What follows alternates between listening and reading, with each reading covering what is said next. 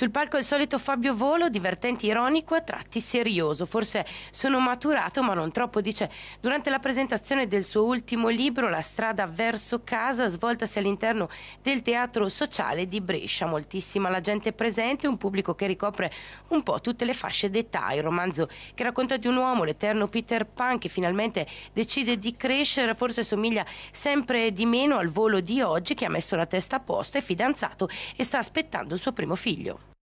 So se negli anni passati quando diventavo un po' serioso poi mi alzavo e dicevo ed ora tutti insieme assolutamente sì.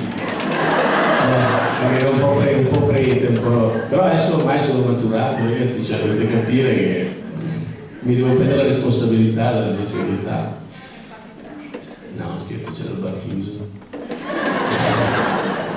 Adesso ho imparato, scrivendo questo libro, oppure lo sapevo e ho scritto il libro perché avevo capito, uno dei, dei problemi fondamentali della mia vita era veramente questa cosa della proiezione del futuro. Io